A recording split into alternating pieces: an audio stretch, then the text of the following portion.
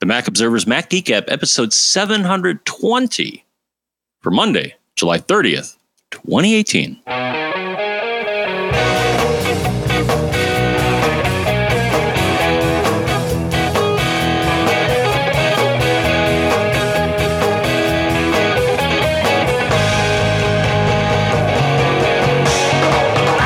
Greetings, folks, and welcome to the Mac Observer's Mac Geek Gab, the show where we take all your questions, all your tips, all your cool stuff found, we mix them all together, and then we share them. And why do we share them? Well, so that we can hit our goal of each and every one of us learning at least five new things every single time we get together. Sponsors for this episode include Other World Computing. We'll talk a little bit about their new OWC Express 4M2 external SSD enclosures, and also Jamf Now. We're at jamf.com slash MGG. You get your first three devices for free for life. We'll talk more about those in a moment here in Durham, New Hampshire. I'm Dave Hamilton. And here in Fairfield, Connecticut, as far as you know, this is John F. Braun. How you doing today, Mr. John F. Braun? I was trying to stay cool, my friend. Yeah, it's a little uh, it's it's hot and humid here in New England, which which you know, which is how our summers go, right? It's uh, but that's okay. Oh, but even better are the storms. Which when you get all that humidity and heat and stuff during the day and then it cools off. Yep. I like the storm. I like lightning storms. Uh, yeah, as long as you're protected against the lightning, that's good. Uh, not a worry for me, but um, No, no, it's a worry for everyone. Lightning is. We we mustn't ignore it. I, I've I've never suffered a mishap due to it. But so you, don't have. you don't you don't buy homeowners insurance? Oh yeah, I got that. Okay, there you go. Yeah. Okay. Just checking.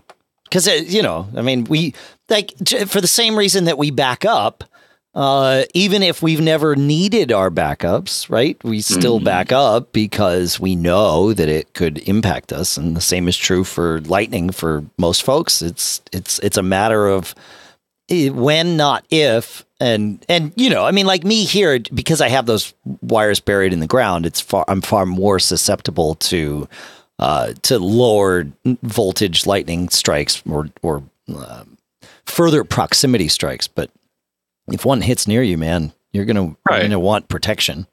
Well, also your state motto is "live free or die," and your state's trying to kill you. You know. My state's motto is an interesting. The interpretation of it is interesting here. That's a it's a whole different uh, podcast, but but uh, but yeah, that is true. For now, though, let's go in, and we've got some quick tips. So, uh, Steve is where we will start for today, and Steve reminds us uh, about there is a way on iOS, like when you visit a website, oftentimes you will get the mobile version of the site, either uh, because of responsive design or because the server senses what you're on and, and gives you a different uh, a different layout than you would get on the desktop. And he points us to an Apple Insider article uh, that they put up last uh, earlier this month about uh, about two ways of doing this. Most people have seen the method that they list second in this article, where you hit the sharing icon, uh, the little square with the arrow pointing out of it, and then along the bottom there, in your multitude of, of options, one of them is request desktop site. But there's an even better way to do it, and that is on iOS. So this is an iPhone or iPad in the URL bar, like the, the bar at the top of the screen where the URL of the current site is shown in Safari, there's the little refresh icon. Hold down on that refresh icon and you get the same option, request desktop site, but it's right there. And I, I'll tell you, I use this all the time. Uh, it, it's very handy. There's some things like I don't have Facebook Messenger. I don't have that app installed on my iPad because, frankly, I don't want it on my iPad. But if I visit messenger.com, like if I visit messenger.com on my desktop, I get the, the Facebook Messenger web interface. If I visit messenger.com on my iPad, I get a link to go download the app in the App Store. It's like, no, no, no, no. I, I just want the web interface for Messenger because I just need to do a little bit here. And so by requesting desktop site there, I'm able to get past that and it brings me right in. And you know what? It works perfectly. So, uh, so this is a handy way of, of sort of getting past some of those things where you know the mobile the mobile site. So, Yeah. so what you're trying to say is that the browser on iOS and the browser on the Mac tell the server different things, and it then it tries to adjust the page to your needs, but it doesn't always get it right. Um, that's partially true. They do tell the server different things, and they do. At there are some servers that will deliver a different piece of content to you, but also, but in addition to that, the iPad itself will render the page differently based on how the page describes that it should be rendered on mobile. And if you change to this desktop site, it actually changes both of those things. And so you you you have a pretty good chance of getting the desktop rendering of of any given site. So Right. yeah. And that makes me think of this other handy tip, Dave, Okay. which is well, at least with Safari on Mac OS, if you enable the develop menu, I'm sure you knew this, but I want to share this with everybody. So if you enable the develop menu, which I think you have to do in the advanced tab, yes, you will then get a develop menu in Safari for Mac OS. And if you go to, and then you'll get a menu that says user agent, you can trick other sites into thinking that you're on a different browser. On the Mac. Isn't it Yeah. cool? Yeah. Like I'm looking here now, and I can say I'm Safari on iPhone, on an iPod Touch, or an iPad, Microsoft Edge, whatever the heck that is, IE, all the way back to version seven, Google Chrome, Firefox. It's crazy. Do or you, you, can make up your own, I guess. do you find I mean I know we can do that. Do you find that it it makes a difference when you do that on on the Mac? I've had very few sites. I had one. I think it was. So our state lets you file your income taxes online. Right? Um, and for whatever reason, when I tried to do it, they they, they just didn't program it right, and uh, it just didn't work on Safari. So uh, I, I could have changed the user agent, but I actually just ran Firefox and it worked fine. That's always my backup plan. Whenever I have a site that's acting wonky on Safari, it almost always works if I open it up in uh, in Firefox. Right? Huh. But changing Safari's user agent to Firefox fixes it or no? It's Firefox. I'm trying to uh, figure out if it's the WebKit renderer that's the problem or if it's just if it if they're actually sending different versions of the page based on your user agent. I have had occasions where yes, it, changing either you know, it's a coin toss which which one I'm going to try. I mean, usually I just run Firefox, but sometimes I'll because I have that menu enabled, I'll I'll go there. Yeah, Yeah. sometimes they code a page and it just does something stupid if it if you're on Safari and but not if you're on Firefox. I don't know. Huh. Yeah. All right. Yeah. Fair enough. I, I thought webs I thought servers had stopped like doing that, but maybe For the most part, I mean, you remember the bad old days when they would say, you know, IE required to, you know, run the site properly. And it's like, Yeah. why are you doing that? Why are- yeah, why are Why, you are you doing doing something so specific to IE that you have to have a browser requirement? Right, right, right. Right. Yeah, yeah. Or more importantly, what are you doing? But um, but thankfully, those particular days are behind us. So yeah, good stuff. Thank you very much, Steve. Good. Uh, another iOS tip that comes from Paul, and it's a good reminder. He says, I use this infrequently and my friends laugh at me. But if you delete an email or delete written text by accident, you can shake your iPhone or your iPad, and an option for undo move or undo typing shows up. And he's right. This, you know, this kind of works. I wouldn't say universally throughout the system, but there is that shake to undo thing. And I, I, I use it occasionally, but not frequently enough to remember to like tell new users about it. So it's worth mentioning. Um, it is silly when you are trying to shake an iPad. Uh, it- in fact, it's hard. To, it's not just silly; it's hard to do uh, because you know you're generally holding the iPad in two hands, and so getting two hands to coordinate to shake is, is actually a little bit of a trick, um, and and probably looks sillier than it feels too. So yeah, there you go. Well, I think you'd have to be careful that you don't toss it across the room when you're doing that with a larger device. Right? Yeah, exactly. That's what it feels like is going to happen. Yeah, for sure. And I then thought there was a setting somewhere for that. Yeah, I- Brother Jay reminds us that if you go to settings, general accessibility, um, I, I think shake to undo is I don't know, it's maybe halfway down the the the list. It's in the it's in the interaction you're right. setting. Yep. Mhm. So you can turn that on or or off. I think it's on. In fact, I'm certain it's on by uh, by default. So now that I've had to use because it's it's very easy to, easy to fumble finger selecting text or deleting it, which mm-hmm. is what mm-hmm. I've done more than once. Where it's mm-hmm. like I highlight something and then I accidentally hit a key, and then it's like, oh, you know, all that text just disappeared. yeah, right, right, right. Cool. All right, let's uh, let's go into some cool stuff found here. We will start with uh, Craig, and Craig says, "I was listening back to 718 and was interested to hear." Uh, oh, never. We talked about the first half of this. Never mind. He says, "I want to give a shout out to my." This has nothing to do with Mac Geek 718. Pay no attention to the two guys behind the curtain here. Shout out to my new favorite Mac photo editing app, Luminar. It is a great mix between powerful but with one click options. It does batch processing and works as a plugin to Apple Photos. So we'll put a link to that in the show notes. Thanks, Craig. Uh, always looking out for new photo editing apps. And this is from Skylum, S K Y L U M. And I know this isn't new, but you know, it's, uh, I think we've probably mentioned it before. It sounds familiar. I've certainly come across it, but 69 bucks over at Skylum, S K Y L U M dot com. So thanks, Craig. Good stuff. Uh, I also noticed that um, KeyCue 9, which is KeyCue is a keyboard shortcut enhancement tool. And version 9 adds uh, emoji typing. So you can really kind of search through and find uh, emoji characters by keyword or choose from a list of recently used emojis and and do this of course all on on your Mac. So eh, pretty cool that you know like th- that's the thing that drives me crazy about emojis is you know it's like oh I want the one that that looks like you know somebody with with uh you know like a face palm thing. It's like okay so now I just need to slowly scroll through to find the face palm. It's like no I just want to type face palm and find it. Well, there you go. KeyCue uh, KeyCue 9 adds that in. So that's you know face palm. Yeah, face palm, right? You know, you face palm. Like no, doesn't. I thought you meant face plant.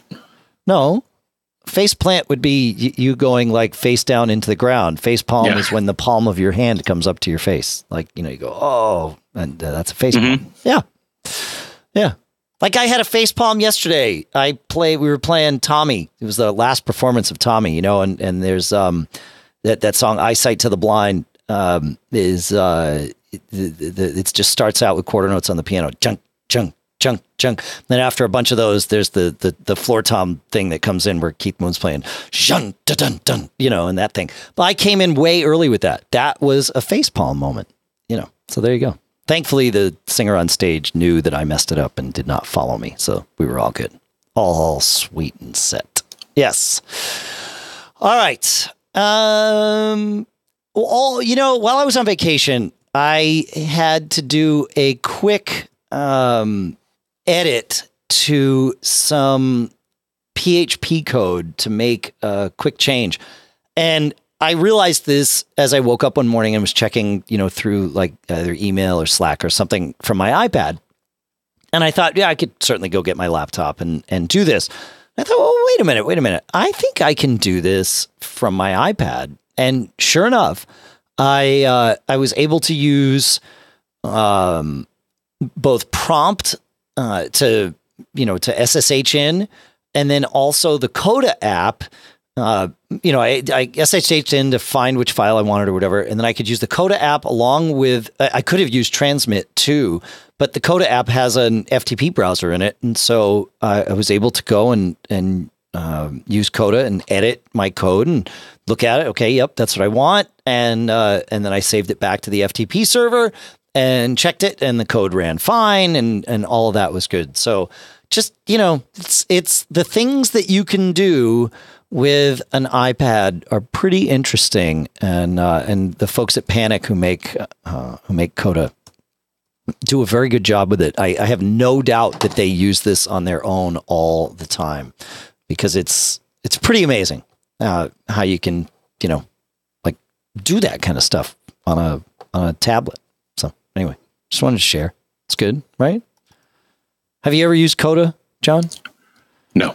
Okay. It's pretty good. It's pretty good. I like it. And they make prompt as well. And of course, they make transmit too. So good. Uh, while traveling, John, I uh, I'm I've often often I've mostly been a fan of in-ear headphones on airplanes. Uh, they do a good job of sealing things, right? Because you put them in your ears, not not like AirPods, but things that actually like go and seal in your ears. And uh, and and then I've used things like the Pioneer Rayz, which have noise canceling and and some great processing and stuff, and sound really good. And the nice part about noise canceling headphones, of course, is that they are uh, small and easy to fit in a travel bag. But I knew I had some pretty pretty long flights. And uh, and I'm actually thankful to Kelly or aka Verso in the chat room here today at macgeekgab.com slash stream for reminding me of this earlier today. But for my recent flights, I thought, you know, it, it does get tiring having something in my ears for that many hours in a row. So I brought along a pair of uh, over the ear headphones. These are the JBL, they're the Everest Elite 750 NC, and I think they're just about 210, maybe 220 bucks. They're over the ear, they are wireless, they've got a 15 hour battery, they are Bluetooth, they have noise canceling in them as well as. Um, uh, they've got a microphone so you can you know you can actually press a little button and get you know the sound from from the cabin. So if somebody's talking to you you don't have to take the headphones off or whatever.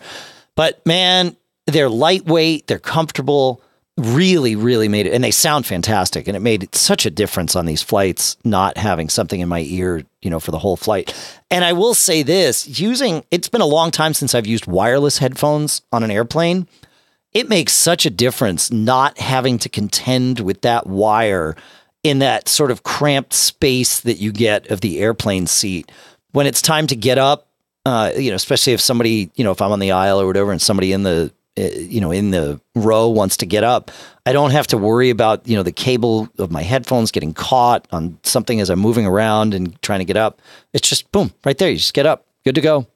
So uh, i was really impressed with these these um, these jbl so i'll put a link to those in the show notes too.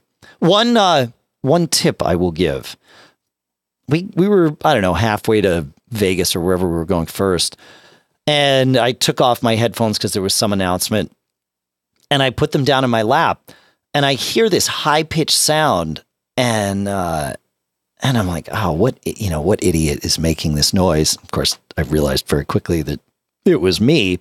Um, the when the noise canceling head because the noise canceling circuit was on and the headphones uh, the right and left headphones got close to each other, it actually started to cause feedback because the noise canceling system, of course, is creating an uh, opposite signal, you know, I, somewhere in the neighborhood of something that's 180 degrees out of phase so that it actually cancels out the noise that would be coming in, right? And it was still working and dutifully doing this and uh, and you know created this feedback loop amongst itself. So I I you know I just grabbed them and turned it off. But there you go. So you know fun, right? Good. Huh. Makes sense. It just took me a minute to realize it. You know, it's like, oh, that's what that noise is. Yes. Yes. Right? Fun. Yes. Sometimes technology just doesn't always get it quite right.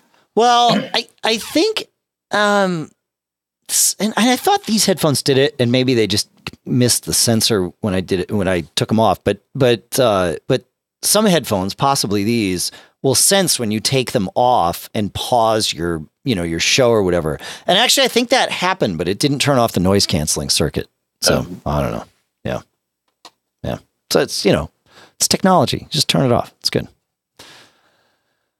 Uh, a tip from a different listener, Steve. Uh, in show 717, we were talking about converting H.264 files to H.265 video files because that compression is more efficient and creates a much smaller file. And he has a large library and wanted to convert these files in place so that the file names would stay the same.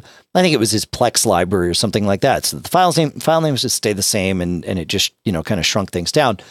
And uh, and listener Steve writes in and says, uh, I think that the listener already had software to do what he wants and he's already using it.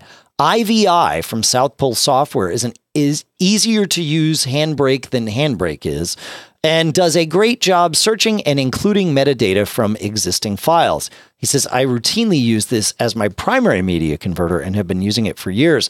The developer is very responsive and it's worth every penny of the $19.99 they ask for the pro version. He says, also make sure if you're going to buy it, buy it from the publisher's website, not the Mac App Store. The App Store one doesn't have a few, few features like DVD ripping. Says they added H.265 support a few versions ago.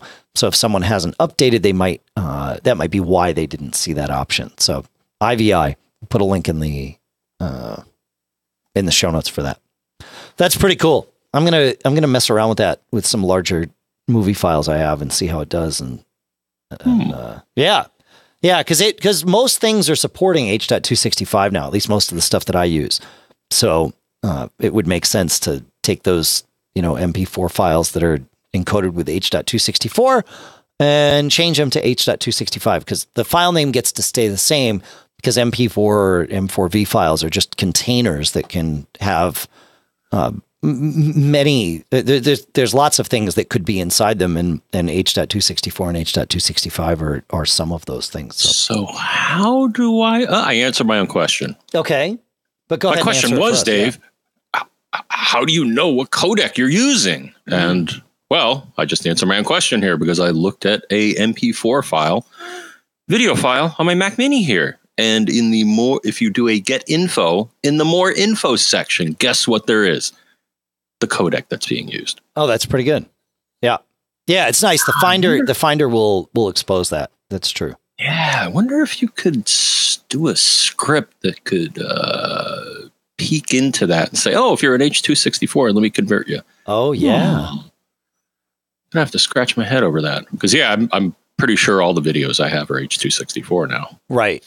Yeah. Mo- yes. That that good chance of that. That's right. Yep. Yep. Pretty cool. Uh, you know, I want to take. We've got some more tips to do. I want to take a minute and talk about our two sponsors for this episode, if I may, Mister Braun. You must. Sweet. Our first sponsor, as I mentioned earlier, is Other World Computing at macsales.com. Man, you know, these folks really know what they're doing. I I know when you're going to buy something that you would add to your Mac, uh, and the same is true for me, anything that I'm adding to my Mac, OWC is at macsales.com is the first place that I go. If it's RAM or an external hard drive or something, they just they know what they're doing. They make they make good stuff, they sell good quality stuff, and they stand behind it.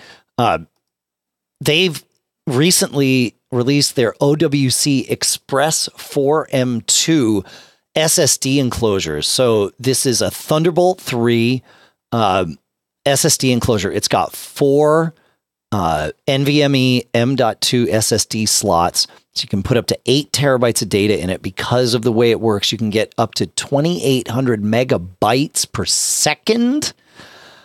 Yep. And like super fast, this thing. Compact design. It uses SoftRAID, right? Which we've talked about on this show. SoftRAID is actually often faster and better and more reliable than hardware RAID. Uh, it's certified, Thunderbolt certified for both Mac and Windows. The enclosures start at $349.99. You got to go check this out. So go to macsales.com. Check this out. Check it out. Check them out for everything that they've got. And please send them our thanks. macsales.com, Other World Computing. They're good, good folks. So our thanks to them for sponsoring this episode. Jamf Now. Uh, Jamf Now allows you to set up, manage, and protect all of your Apple devices. So it's easy to keep track of your own Mac, your own iPad, your own iPhone. But what about all the other Apple devices at work, right? As your business grows, and really, frankly, even as your family grows, so does the digital inventory associated with it, right? Making it exponentially harder to manage everybody's Apple devices. And this is especially true when people are remote. So you got remote employees or remote family members, you know, kids going off to college, or you know maybe you're take care of your you know devices for your uh, family, you know, your remote family, maybe your parents or your aunts, your uncles, your your siblings, whatever it is. With Jamf Now, you can check your digital inventory. You can distribute things like Wi Fi and email settings so you can control those from your computer anywhere or your uh, you know Apple device anywhere and it can push these changes magically over to all of these devices that you manage. You can deploy apps, you can protect data, you can even lock or wipe a device as needed. And Jamf lets you manage devices so you can focus on your business instead. No IT experience needed. So, uh, start securing your business today, setting up your first three devices for free forever. That's right. The first three devices on your account uh, are always going to be free. So, and it doesn't just mean the first three that you put on there. If you put three on, you take one off, you put another one on, guess what? All three are still free, right? After three, if you have more than three devices on your account at any point in time, it's a better way to look at it, then it's just two bucks a month per device over three. But the first three are always free. So go jamf.com, J-A-M-F.com slash MGG. That's J-A-M-F.com slash MGG. That way you can create your account and get started managing your devices today. So our thanks to Jamf for sponsoring this episode. All right, John, more tips because I love tips. It's good. Uh, you know, we talked on seven show seven sixteen about docks and multiple screens and trying to integrate them together. I know you were having some trouble with this, uh, but you weren't alone, John. So Tim, let's let's hear what Tim has to say. His audio starts out just the beginning of it's a little rough, and then it's okay. So, um, and then we'll we'll take it from there. See. Hey guys, this is Tim out in Phoenix, Arizona, and I just wanted to give you a little bit more feedback on my experience uh, regarding your topic of having multiple screens and having the dock be unpredictable that dock around. Um, I have my dock set to the bottom of the screen, and that I've and I've noticed that if I set up my external monitor, so I have a MacBook Pro and I have an external monitor, if I set up the external monitor so that its proximity is higher than uh, than my laptop's monitor. So if it if it's relative to my laptop monitor, if I have to go up to the external screen, and therefore the external screen does not touch the bottom of the overall layout, then the dock doesn't show up on that screen. But if I move the external screen to be next to my laptop screen and align the bottoms of the screens, then if I go down to the bottom of that external screen, I can get the dock. So it may be something as trying to be as smart as that, that it knows if you've got your dock set to the bottom, but your screen doesn't touch the bottom, then uh, then it's uh, not going to bring it up because it's not the bottom of the screen, it's the bottom of the overall layout. So anyway, thought I'd add just a little bit more uh, con- context to that, my personal experience. Thanks. Thanks for the great show. Bye. Thanks, Tim. That actually makes a lot of sense. It, you know, we have to think about this not as two separate screens, but as one screen that it, that one virtual screen, if you will, that has uh, that is made up of multiple components. So the bottom of the of the quote unquote screen may not be the one that you're on, if that makes sense. Right? Is that is that a good way to say it, John? Good as any. Yeah. Yeah, it's pretty interesting. Yeah. Makes sense though, right? You know, so kind of dragging things around and testing again, uh, you know, you, you can do that system preferences, displays, arrangement, right? Is where if you've got multiple screens, you'll get that arrangement tab. You can move things around in there. You're, it's supposed to be so that you can reflect what things are actually like in in the physical world, and then Windows will drag appropriately. But you can certainly play with it a little bit to uh, you know to get the effect you want. So pretty good stuff. Robert uh, chimes in and along the same lines and says regarding regarding this discussion, one interesting tip to know is that if you choose to hide the dock, it will reappear on whichever screen you are using when you drag the mouse towards its location. So if you say that the dock's at the bottom, but you choose to hide it, uh, if you drag down to the bottom of whatever screen you're on, then the dock will appear there. Uh, he says, and one more thing when invoking Launchpad using gestures, it will show up on whatever screen you last accessed the dock on. So that's interesting to remember. So Launchpad follows the dock. says, I hope these tips are helpful. Love the show. Thanks, Roberto. That's great. Awesome. Fun. Crazy. It's, um, I, f- I feel like, I feel like this is one of those scenarios where Apple is trying to guess what we users would want. And, and they, you know what, to be fair, they do this a lot. And most of the time we don't notice it because they guess right and it doesn't Mm-hmm. cause any, tr- any trouble. But obviously there are times when, you know, yeah, it doesn't, I would doesn't say- work out.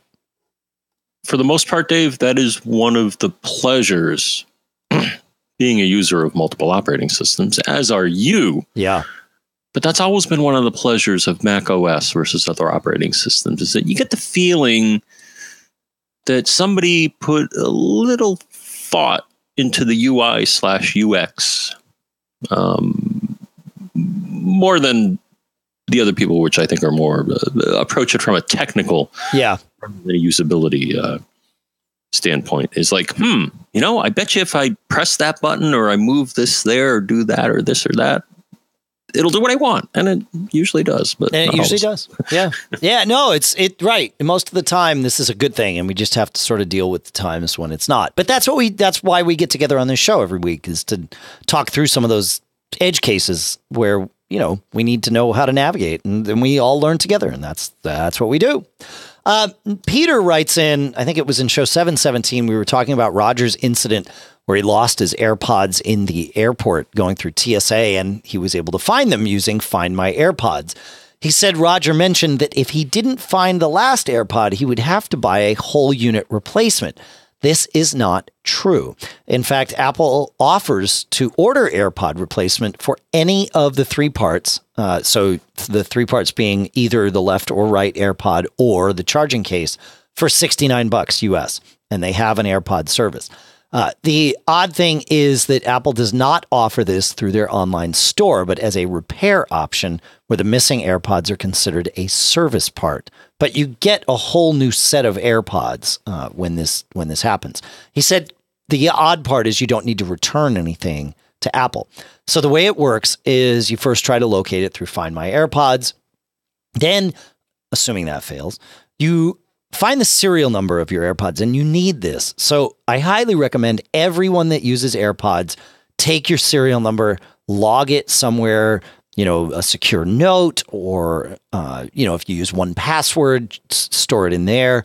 Uh, you know, something, even just like it doesn't need, even need to be secure. It just needs to be somewhere. You can put it in notes and let that sync to iCloud, whatever it is.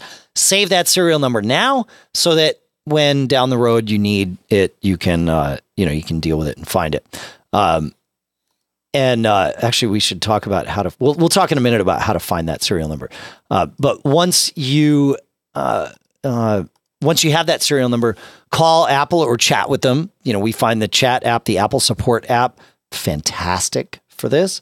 Uh, tell them that you lost, you know, your AirPods or a a piece of them, and ask to order a replacement. The advisor will send you a link to pay your 69 bucks and then automatically a new set of AirPods will be sent to your address.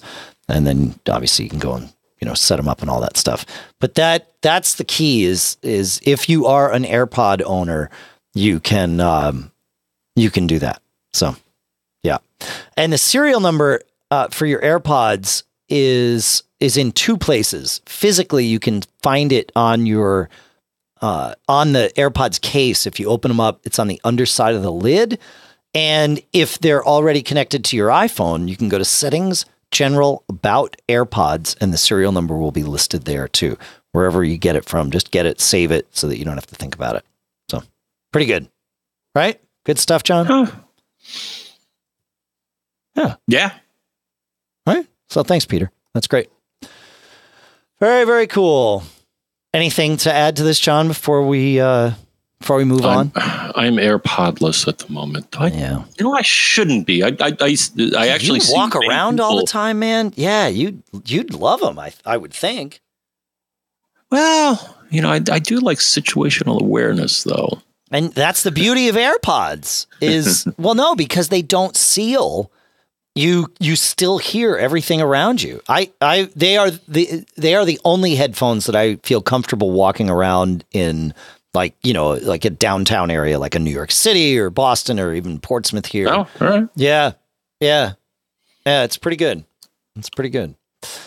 Uh, also in show 717, we talked about how I was having this issue where my iPad, uh, which is on the iOS 12 public beta, or not public beta, developer beta, uh, but public beta people are having the same problem, would occasionally and seemingly without any uh, any reason just go to a black screen.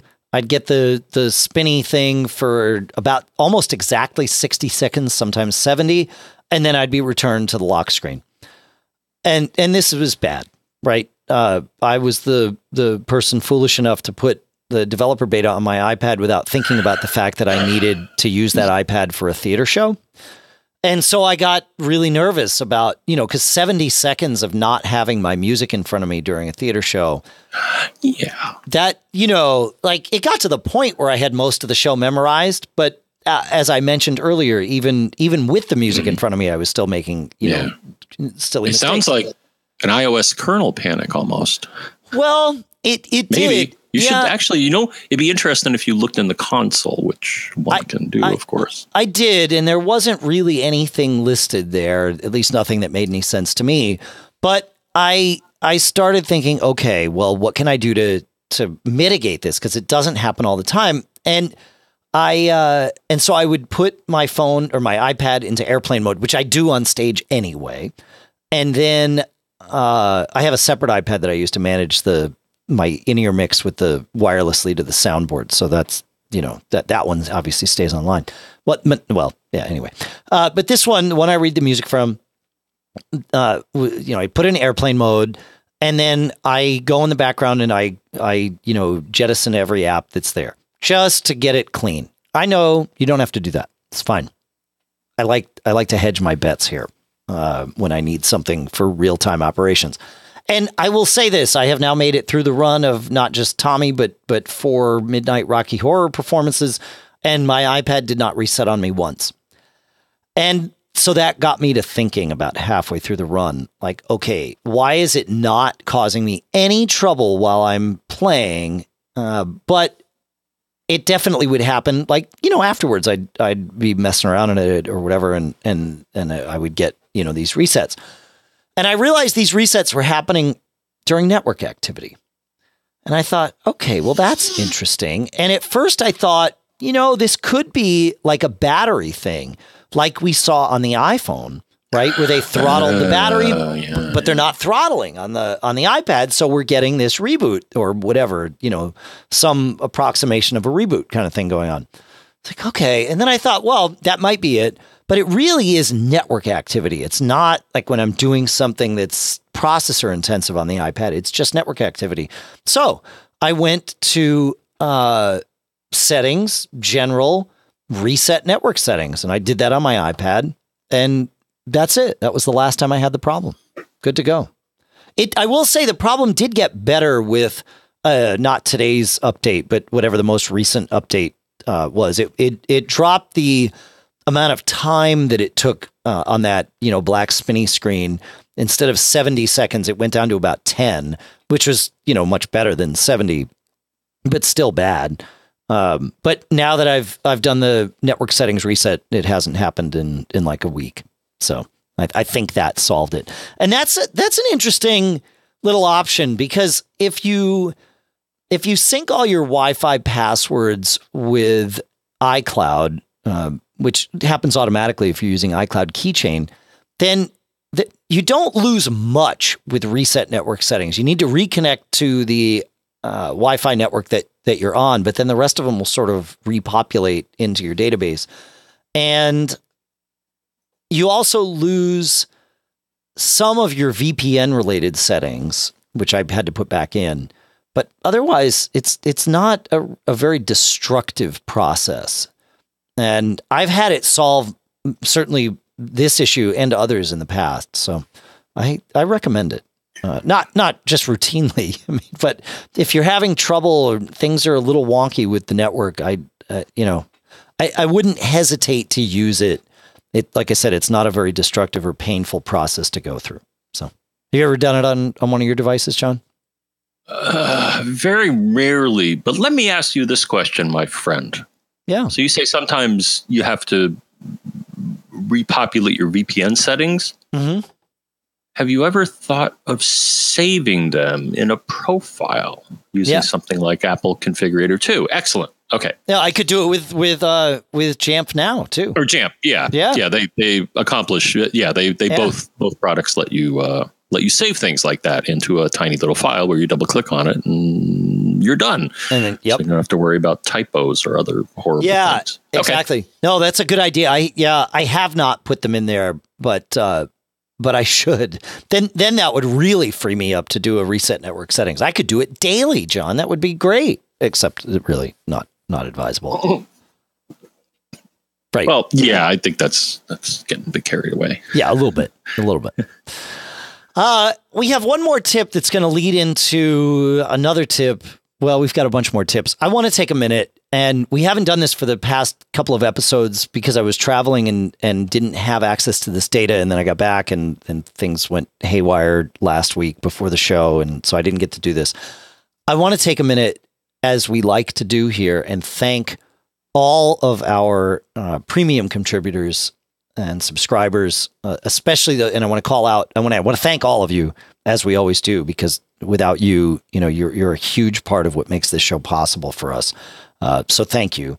And then as we like to do, I want to, I want to highlight and mention each of you that have come in since the last time we did this. So the, the list is a little longer right now than it normally is, but, uh, but that's, that's okay. Um, so, on the biannual plan where it's 25 bucks every six months and you can find out all about this at macgeekgab.com slash premium if you are interested and able. And if you are not interested or not able to to do this don't sweat it. Uh you know you can you can you can and do support us in other ways just by listening. You're supporting us um you know by sending in questions and participating at you know macgeekgab.com slash forums and the new forums and all that. Like it all the, the whole thing is what we all get to do together.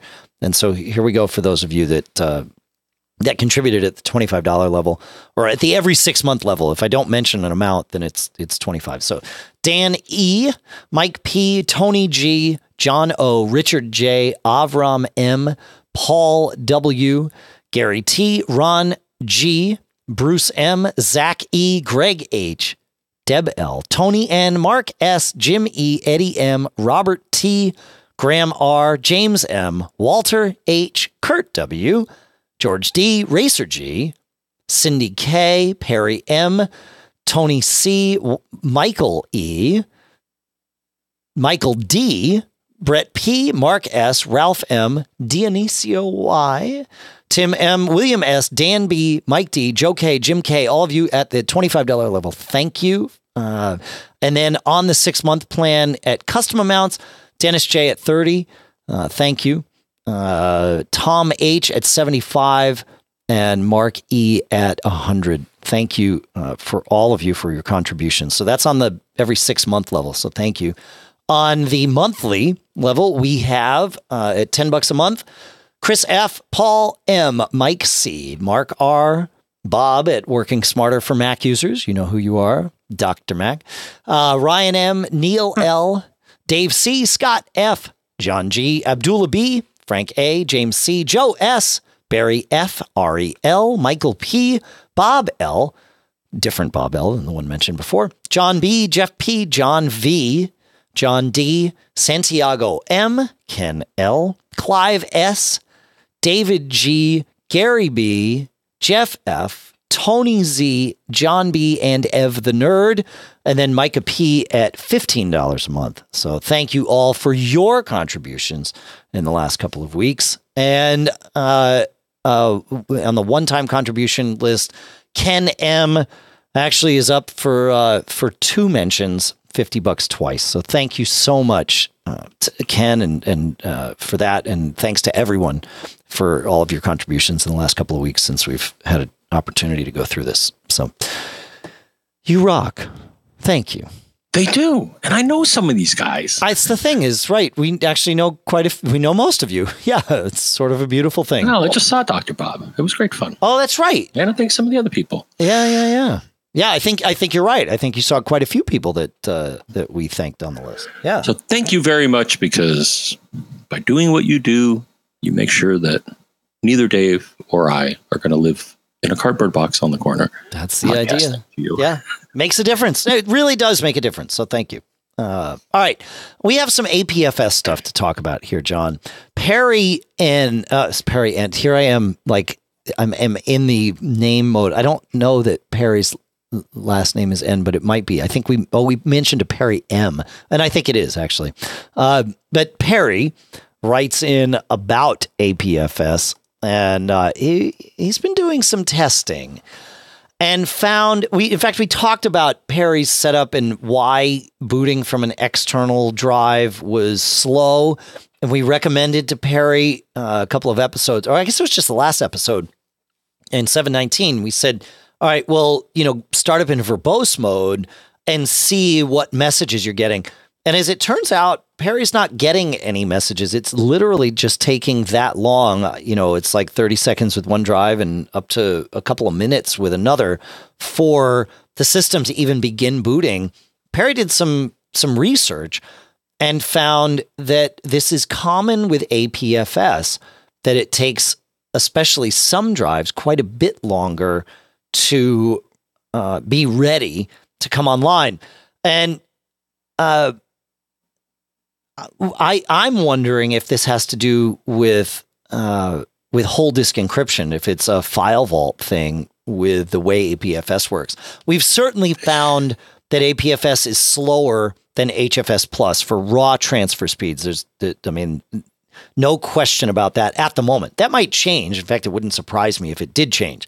But in terms of raw transfer, APFS is definitely slower. There are a lot of things that APFS does, and we'll talk about them in a minute. That, um, or at least one of them in a minute, that uh, you know make it worth having, especially on a boot drive and that sort of thing. But but in terms of raw speed, APFS is definitely slower. Right? Our tests our tests routinely still prove that out.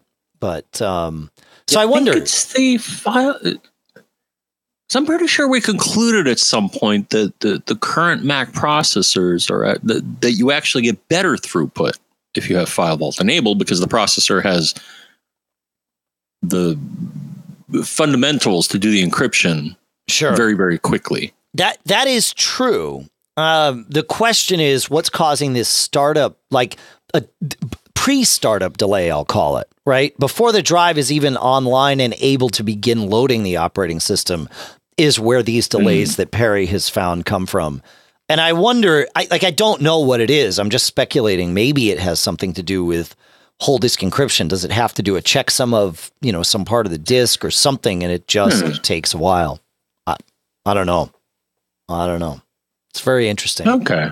I mean, I do recall someone wrote in as well, and they noticed that shutdown sometimes takes a very, very long time. We'll and talk about that. Yeah. Well, yeah. Well, I think that's a different issue. But the thing yeah. is, even even when APFS first came out, someone wrote in, and I think I tested this. They're like, "Well, you know, it takes my machine like a minute before it actually shuts down." Yeah. Yeah. And I right. checked it on both of mine, and well, sure enough, it takes like a minute, which you know is like an eternity in computer time. Right. it's like, what are you doing? Yeah. What's it doing? Right. Right. Right. Yeah. Well, to answer that question, there are some things that we know, right? It's doing all of its and any writes that have not been like it, it, the system often will cache writes. uh, so it it has to do those, but that shouldn't take a minute. You know, it shouldn't even take seconds. It's just it's got to do them, um, and then it you know it it cleans through some caches. It it as it it clears out virtual memory and all of that. So, I mean, maybe that's part of it. I, I know APFS sort of treats virtual memory a little bit differently than the way HFS Plus did in terms of where on the disk it stores it and how it compartmentalizes it. So maybe that's part of it. I don't know. Maybe that is part of it. Maybe it's setting up that virtual memory each time takes longer. Yeah, yeah could be. I yeah. I don't know. I don't know. Um, on the uh, on the on the flip side of this, a nice benefit with APFS is highlighted by listener Bill. He says, as a 4D developer, I installed Mojave uh, on my spare MacBook Air to test 4D and my application on the upcoming OS. Public beta fine was fine, but public beta 2 broke something in 4D, which meant that I couldn't do touch up development when I was away from my iMac Pro at the at the desk. He says not a deal breaker, but certainly annoying. My second thought after setting up an external drive with 10.13 was to open disk utility and repartition the internal drive as it only held about 80 gigs of the total 250. However, disk utility in Mojave would not allow this, but did suggest that I add an APFS volume to the APFS container. Remember, APFS starts, it's it, there's one layer added to the sort of the stack, if you will, of how the system manages space on your drive with HFS Plus and other file systems before it, you would it would just create partitions and then you'd add volumes to those to those partitions. And that was that. If you wanted to change something, it really had to be repartitioned. With APFS, it creates a container of space and then inside that of that container it starts adding volumes, but the volumes are virtual. They they don't live in a certain place on the drive because with an SSD that's that doesn't it doesn't matter where the data lives. It's it can it can be all over the place and you still access it the same way. So he said what I did. I selected edit, uh, add APFS volume in disk utility. I accepted the default settings. I named it and clicked OK. I then copied the High Sierra installer over, double clicked it, and installed 10.13 High Sierra on the new volume. He says, I now have a dual boot machine. He didn't know repartitioning, just added a volume, installed High Sierra, good to go. And here's the cool part the new volume, he says, only uses space as required and currently holds 25 gigs, which is just the OS, mail, 4D, and my development folders for my app. This just reflects what a great step forward APFS is, and certainly does, because he didn't have to think about how much space do I need to carve out for this volume I'm going to create? Just created the volume. And uh, you can reserve minimum and you can set maximum so that things like Time Machine won't just chew up space, but you don't have to. You can just let your volumes use whatever they use. And, uh, you know, it's just pulling from that pool of space that, that is your hard disk or your SSD. Hmm. Yeah, I know. So, you know, th- th- this is that's like a huge benefit right there. Um, something that was very difficult to to reliably do previously. So yeah, it almost sounds like a, a flexible quota kind of. Mm-hmm. Yeah, all right. That's the way to look at it, right? Is it? It's just flexible quotas for these things that we call volumes, but really, there it's it's an arbitrary distinction um, eh, to a degree, right? I mean, you can't just move files between volumes willy nilly. Like you'd have to copy them from one and delete from the other and all that. But, um, but it's pretty cool. I, I, I definitely like that, you know, that way of thinking. It solves a lot of problems we used to have. So it's pretty good. Yeah. I mean, someday it'd be nice if your drive just grew to be as large as you needed, but eh, we're, uh, we're still away. We're still a ways away from that. Well, not really. I mean, we have that in the cloud right? You can. No, you're right. We do actually. iCloud uh, in the current Mac OS, there are a lot of features that will offset a lot of things to iCloud when when it decides that it should do as much. Yeah, yeah.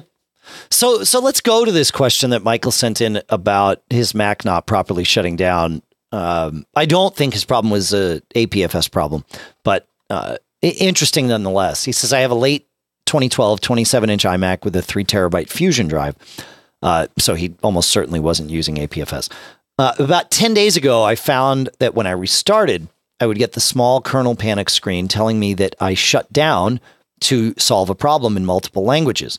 For the last couple of days, when I tried to shut down from the Apple menu, I got the kernel panic screen and it starts back up and will not shut down when I hold down the power button, it will shut down. He says, that's the only way I can get it to turn off. And when it starts back up, of course, I get the kernel panic message again. And I never heard the bong since this has started. If something is really hosed, I am fully backed up and can nuke and pave, but I'm wondering if you've ever seen this before and if there's a quick terminal fix. Drive Genius finds nothing wrong with the drive and Disk, Util- Disk Utility's first aid also says the drive is clean.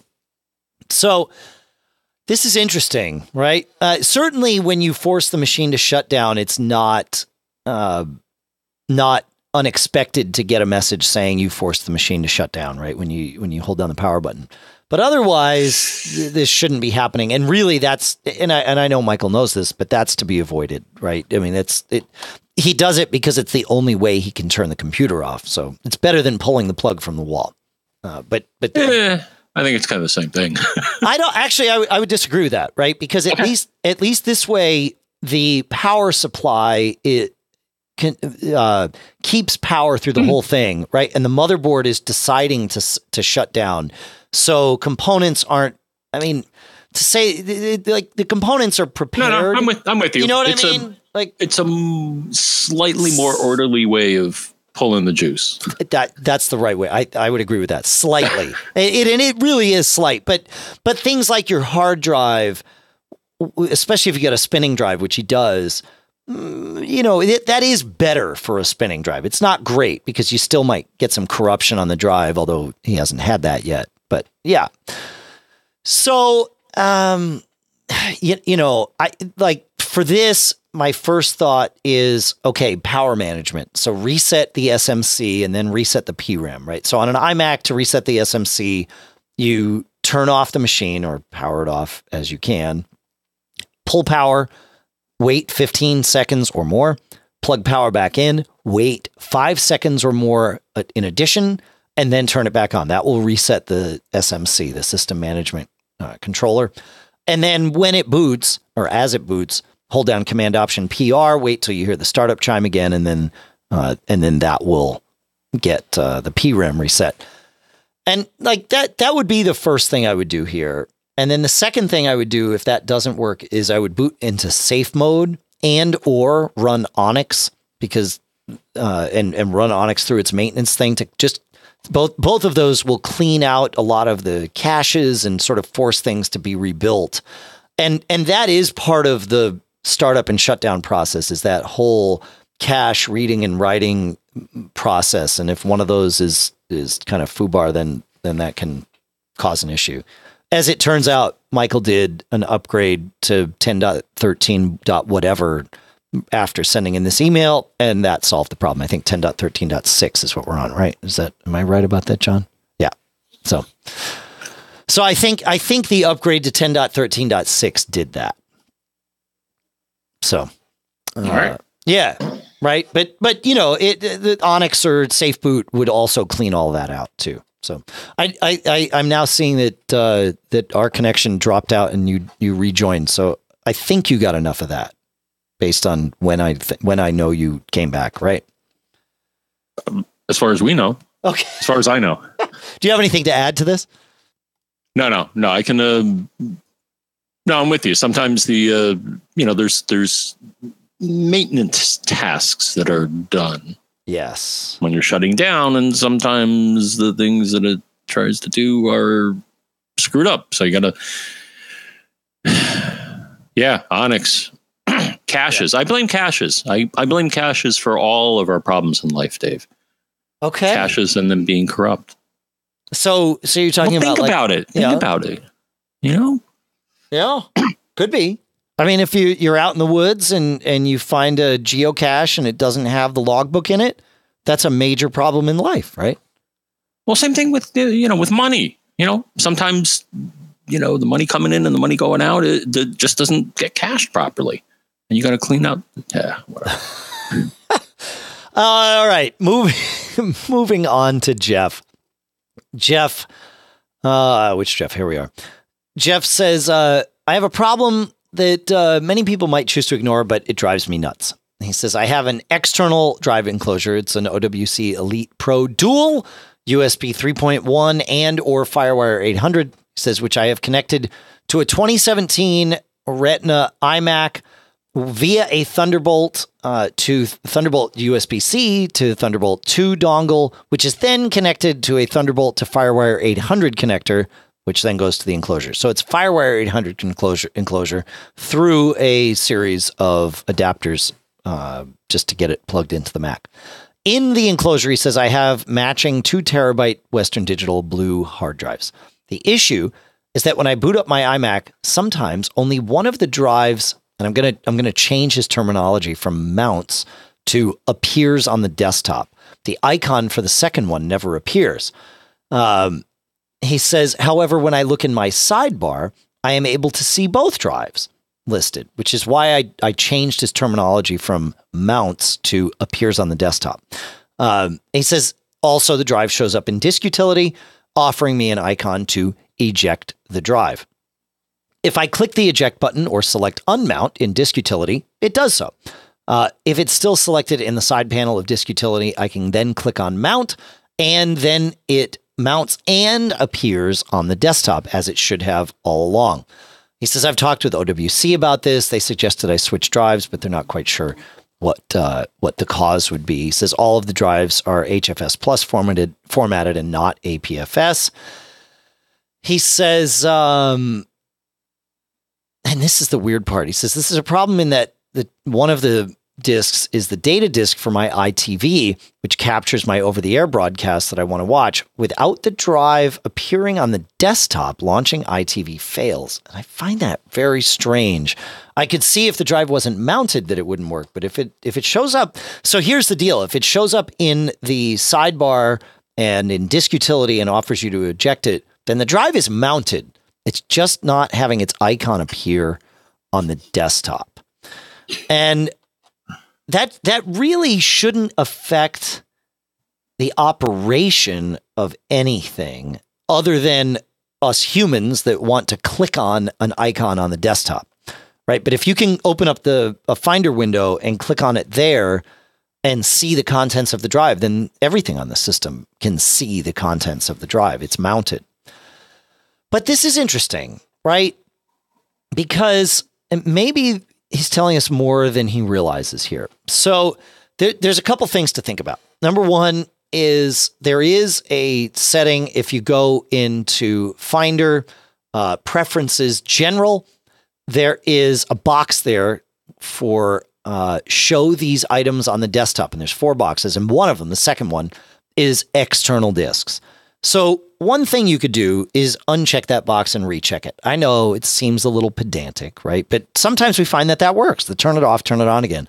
We've talked about why it, you know, rewrites preference files and all that.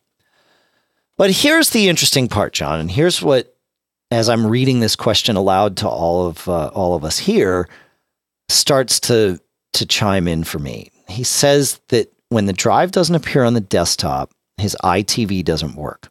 But we know the drive is mounted. But here's the thing what you don't see in the Finder is the name that the system is giving to the drive. So when you mount a drive, it creates a folder in on your on your boot drive in the volumes folder. So there'll be a, a subfolder of the boot drive called volumes, and then within that there are are folders named after every drive that's mounted. Sometimes when a drive gets unmounted improperly, that folder that's there that points to the drive doesn't get deleted and it should. So when a drive goes to mount again, it will see that there is something in that volumes folder. Like let's say the drive is named um, my drive, right? So you go to mount my drive, and when you do it and everything's working right in volumes, there is another folder that is my drive. So volumes my drive points to this drive and the and the Mac does a good job of sort of obscuring all of this from you and just showing you icons, which is great. But if the my drive folder already exists when you plug in my drive, Mac OS knows that it can't have two folders with the same name. So what it does is it just adds a number to the end of the name. So you would wind up with volumes my drive 1 and that's the thing that would mount. But on the desktop, you would only ever, or, or on, you know, in the Finder or wherever, you would only ever see my drive named. But a program like EyeTV that remembers where the disk is mounted would know that there was that one there, right? That one would make a difference to it. So, what I'm wondering is if your volumes folder has some things in it that it should not have, and or sometimes has some things in it that it should not have, and therefore it's causing problems both with it mounting on the desktop and with EyeTV because it's literally at a different location than it usually is. What do you think about that thought process, John? Yeah. I can go with that. Yeah. But I've um I've noticed every once in a great while on one of my machines, I will not see a drive that I expect to see on the desktop. So here's what I do is I'll go to in the devices sidebar, I'll click on the computer and invariably I will see it listed there. So that's like the Yeah. shortcut. Right. Well, that's what we're saying. Yeah. and it's exactly. annoying. It's annoying that one has to do that, but yeah, I, I think there's a again a, a very subtle bug in the Finder that gets confused, and so it's like, well, I just Well, but so so here's the thing for both of us because I've seen this too. The next time it happens, before you you know uh, go Mm-hmm. looking elsewhere, go look in the volumes folder and see if it's mounted. You know, if there's duplicate names or multiple names with you know ones and twos and threes after them, because my guess is that might that might be a big part of this issue here, John. Um, and if to solve that, the the way I solve it is eject all the drives so that you know that all the folders that that the volumes folder should be empty, and then uh, go into that volumes folder and erase anything, you know, just trash anything that's still there. It's it it's not going to show you that volumes folder in the in the Finder, but you can go. I usually do it in the terminal, but you can go to the Go menu in the Finder. I'm trying this now. Choose Go to Folder, and then just go to slash volumes with a capital V, and yeah, you can see everything that's here, and and you'll see. Uh, I'm trying to think what's what should be here. So uh, com.apple.timemachine.local snapshots might be there. That's okay. And then uh, an alias to your boot drive should be there. And obviously that's okay. You don't want to delete that. But anything else that's there, if you don't have anything mounted, can go away. That's that's my feeling on it. Hmm. Right? right, right. Oh, I like it. All right, you want to take us to Robbie? Robbie's got a great question. I think we got a great answer. Oh, we got an answer. So, anyways, Robbie asks, could you explain how messages in iCloud works? Does it only use the cloud to sync across Apple devices, or could I log into iCloud and send messages from there? Having messages built into macOS is one of the main reasons for staying on this platform. Being able to use this service from a Windows PC uh, would allow me to upgrade from my mid 2009 MacBook Pro with significant savings. Hmm. Huh. I, I, he he said the W word, but we'll still answer the question. Sure. No, I think it's a good question. Yeah. So the thing is, um, there is a handy dandy article um, from Apple that does explain what um, having your messages uh, synced in iCloud is, and it's exactly what he suspected. Is it will sync across all of your Apple, uh, your Mac OS, and your iOS devices. You, you, it- it'll sync the messages so they're available everywhere, which is kind of the thing that iCloud can do unfortunately, you know, I was like, wow, you know, it sounds like that's a great idea that you could from the web interface. And the thing is, if you go to iCloud.com and you log into your account with your Apple ID, you can access many features that you can op- uh, access from Mac OS and iOS from the web interface as well. Guess which isn't one of them, Dave? Well, I wouldn't expect messages to be there. I, I'm gonna I, I'm gonna Well, let they you could finish. technically do it, but they don't. And well, it's like, I, I I I beg to differ, but but if there's more to say on this, go ahead and say it, and then I'll explain why I don't think they they could ever do this. Well, the thing is, I can do mail from the web Uh-huh. interface. I can do other things from the web interface. So I so I don't see technically why they would not let you do it. All right, let me explain. But as he why. pointed out, but as he pointed out, now now the thing is, um, okay, well I can let you go on. it's a it's a tangent, but but I- I'll and then I'll I'll yeah, and we'll come back. tangent. Yeah, okay. But um, go. Well, the reason is that iMessage is an end-to-end encrypted scenario, right? And and so when we've explained this before, but I'll I'll go through it again just for the benefit of everybody listening. When you send me a message, John, what happens is I and this happens automatically. My iPhone, my Mac, and my iPad, and if I have multiple Macs, then you know each of my Macs creates a public key uh, that can be used to encrypt messages for it, and then also creates a private key that can be used to decrypt messages on that device. But there are per device keys created, and then all of those keys of mine are shoved up all of the public keys, not the private keys. Private keys are only left on the devices. Public keys are left uh, in iCloud. And then when you go to send me a message, you actually download those public keys to your device that's about to send me a message. You type the message. When you hit send, your device encrypts the message to me with those public keys and then sends the encrypted package up to iCloud, which iCloud then, uh, you know, sends down or to you know, the messages server, which is iCloud, which then it sends down to, you know, my devices. And then my individual devices decrypt that that blob of data into hopefully whatever message it was that you intended to send me. Our web browsers do not participate in this public key exchange. They, uh. right? They could, but it would start to get really interesting. Um, and and actually, this makes me this makes me wonder. Like, I'm assuming that messages in the cloud maintains that encryption, but the question is, does it?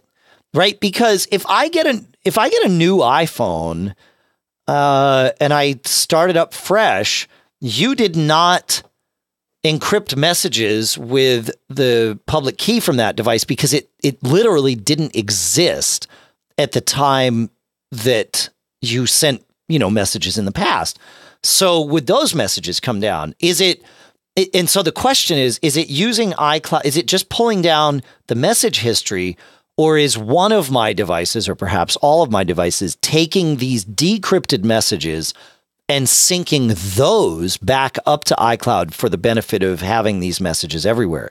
And if it's doing that, I darn well hope it's doing it with encryption. Otherwise, why in the world are we doing end to end encryption on our I, uh, on our iMessages in the first place? So I think right. that's why you can't do this in the web browser. I think it's the end to end encryption that that gets in the way of that. That's that's my theory. Eh. All right, I'd yeah. buy that for a dollar. Sure. Yeah. right. You could you could send that to us at macgeekgab.com slash premium, you know, John.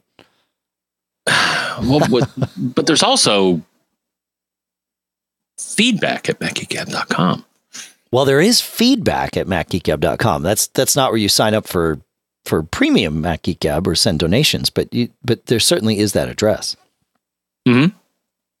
Feedback at macgeekgab.com. That's correct. to get back on track and then back off the track here. So I did notice something, Dave. Um, if you do run messages, though, there's an option in the messages menu, and it says add Jabber account. What, may you ask, is Jabber? What's Jabber, John? I'm going to tell you because actually I remember deploying this back in my corporate RD days. Um, Jabber is an open standard for messaging. And it looks like Messages supports it. It's also called XMPP. And it would seem that, at least for now, Dave, that Messages supports that. And it also supports all sorts of fancy pants encryption stuff because if you look at a list, so I found one list here, it's list.jabber.at.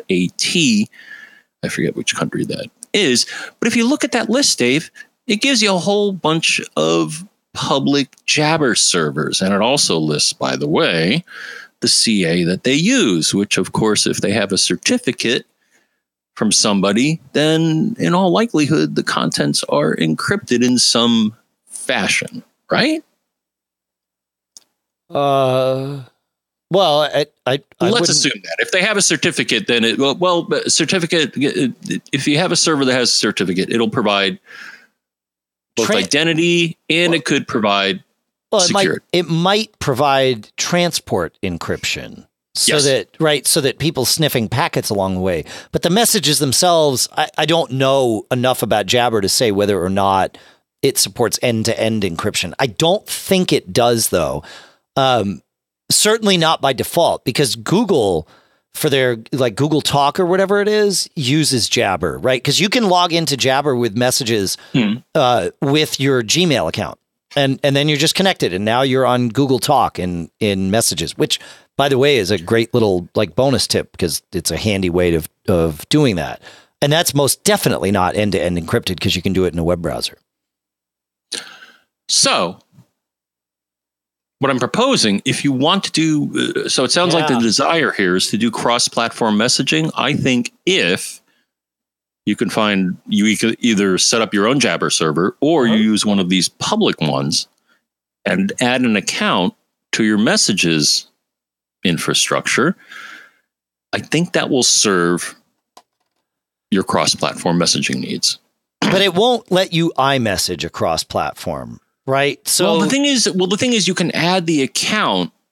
You can add an account. I, I haven't tried it, so so But, yeah, but, but, you know, but, give it a but whirl. here's here's the thing. Like if mm. I'm sending you messages and all I have is your iMessage address, you adding a Jabber account to the messages app, you you won't like like that that doesn't magically make it so that iMessages are now sent to your Jabber thing, right? You, you know, someone someone on Windows setting logging into a Jabber account it, it, like if you if you uh, let me say it this way if you add a jabber account to messages on your mac and then you launch your windows machine and you add a jabber account to that same jabber account to some messaging app on on windows someone sending you an iMessage will not make it to your Windows machine. The only thing that will make it is people sending you messages to your Jabber account, which is completely separate from iMessage. Yes. Right. So right, agreed. yeah, yeah. But it's part of the messages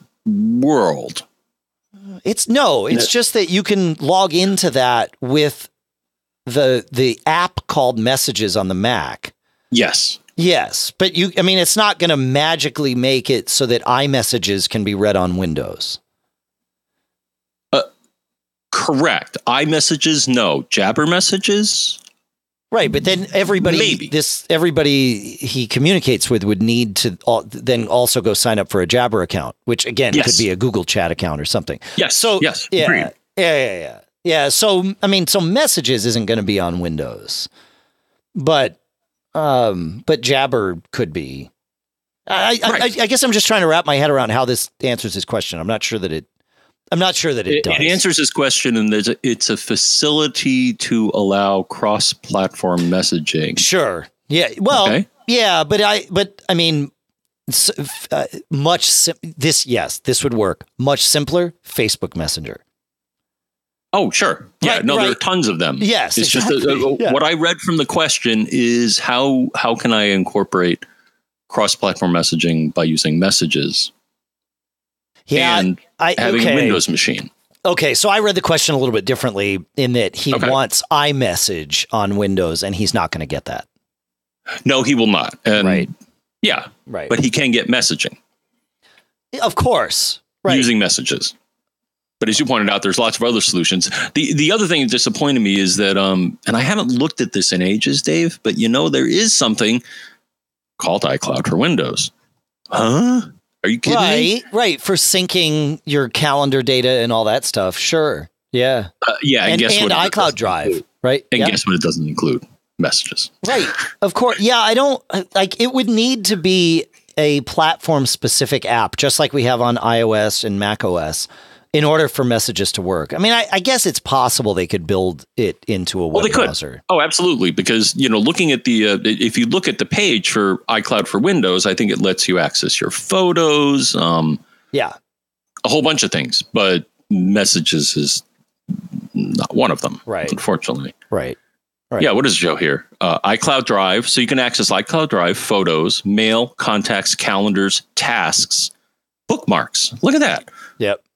Why couldn't they have just taken a little extra time and added messages to that? But they didn't. So No, they didn't. Yeah. Yeah.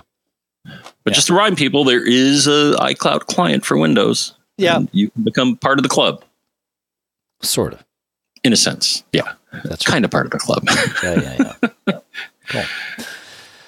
cool. Um, Chuck sent in a quick one, which we will address, and then we will move on. For I think I think we're we're at our limit for the week. But but Chuck noticed something. He said my wife's MacBook Air is saving her screenshot files to her Dropbox folder in a screenshot subfolder instead of to her desktop. I couldn't say how she accomplished that change. I looked up uh, an, an article from March on how to change the screenshot location on the Mac, which requires a terminal command. It's d- defaults write com.apple.screen capture location. Uh, and he said, I tried doing that and it didn't work. So I've either entered the command incorrectly or maybe there's something else that's causing this behavior. And and you're totally right. There is something else causing this behavior. It's Dropbox. If you were to quit Dropbox on your wife's uh, MacBook Air, your screenshots would be saved back to the desktop or wherever you have told macOS to save them, which of course by default is the desktop. Dropbox, though, can be configured to change this. Uh, if you go in, if you launch Dropbox and then go into Dropbox's preferences from the little settings gear, so you go to the Dropbox drop down menu at the top of the, you know, in the menu bar, go to the settings gear, go to preferences in the account tab. I know it's a weird place for what you're about to hear, but in the account tab, there is a box that says share screenshots using Dropbox. If that box is checked, Dropbox takes over the system's saving of a screenshot and redirects it to Dropbox, which then, of course, syncs it to any other device you have that's running Dropbox. If you uncheck this box, then Dropbox does not hijack that behavior and puts it wherever you want uh, or wherever your Mac wants. So I, I, I am certain that that is the solution here for you, Chuck, and and hopefully that that gets you where you need to go. It, I will say that it is handy having Dropbox sync my screenshots. I, I really kind of like that, that, that they're just everywhere and I don't have to think about it. And especially if I'm preparing for like an article or for a, well, an article or a, a talk that I'm going to go give and I want screenshots, I can just take screenshots on all of my devices wherever I am. And then boom, they are always synced to wherever I need them with Dropbox, which is, you know, handy. So do you sync your screenshots with Dropbox, John? nope. Because I just looked at that box and it is unchecked. Unchecked. There you go. The night the other nice part is I can take a screenshot and Dropbox will put a link to the screenshot on my clipboard. So I can take a screenshot and then immediately able I'm able to paste, you know, a link to someone to say, hey, go check this out. So it, it's super handy to, you know, to be able to share things around. So it it talk with your wife before you make this change because she may mm-hmm. actually be using this functionality in a way that she doesn't quite realize. So there you go. Handy, right? Yeah. Time to You bring the should probably in. talk to your wife anyways, you know? It's a good thing. Yeah. Yeah, yeah, yeah. I highly recommend it. I, I, I don't have one, but but that's what I hear. No, it's a good. It's a very good thing. Yeah, yeah. All right, uh, that brings us to the end. We've already told you about the email address. We didn't share, but uh, I think most of our premium listeners know this already. Premium at macgeekgab.com is the email address that you can use. We do prioritize the stuff that comes in there. We answer those questions first. Uh, although we true we do try, and I think this week we succeeded in answering everything that came in, which is uh, which is good to do. We we like to stay caught up on all that. Sometimes, especially when both John and I are traveling, Oh yeah. uh, things fall by the wayside. But but actually, I think this week we did a pretty good job, John. So yeah, we can pat ourselves on the back. But really, we'll leave it to you to pat us on the back. So uh, come visit us in the Mac Geek Gab forums at macgeekgab.com slash forums. We love it there. It's a handy place to be, and uh, and lots of great questions getting answered all the time. Uh, let's see. What else do we have here? We have, I want to thank CacheFly, of course, C A C H E F L Y dot com for providing all the bandwidth that gets this show from us to you. And then, of course, the podcast marketplace, which is where all our sponsors are. Smile at smilesoftware.com. Of course, Other World Computing at macsales.com. Jamf at jamf.com slash MGG. Barebones at barebones.com. Ring at ring.com slash MGG. 1password.com slash geekgab. and codeweavers.com slash MGG. All great stuff. Really great stuff. Go check those people out. That's good. John, you brought us in. Why don't you get us out? What, uh, what do you have to share with these nice people here? I'll tell you what I got to share, Dave. I got to share three small words, and those are don't get caught. Made on a